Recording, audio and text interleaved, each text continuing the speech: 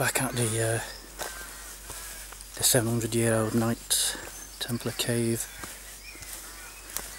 Some friends wanted to uh, some friends wanted to have a nosy at it. It's rumoured that it's going to be filled in or barricaded off so you can't get in anymore which is a shame because it's uh, it's 700 years old and there's a lot of history there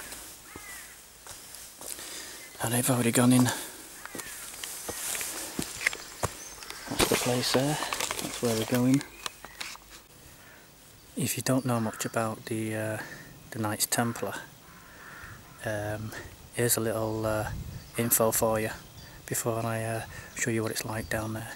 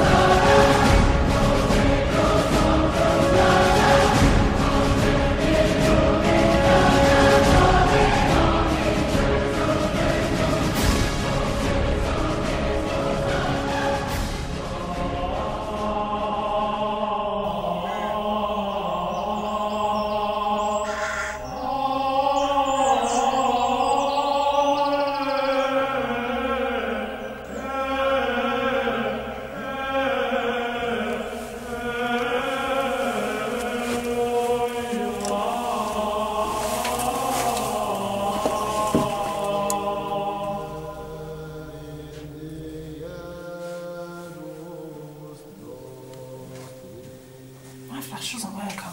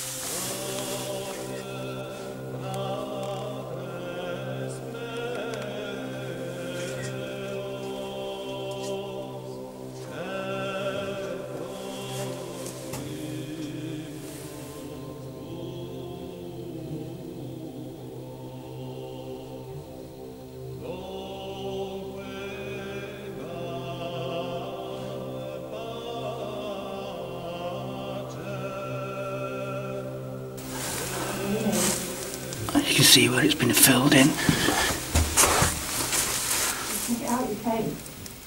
and completely filled in with uh, with sand You see the pillars there. Get your sand. Scrape it all out.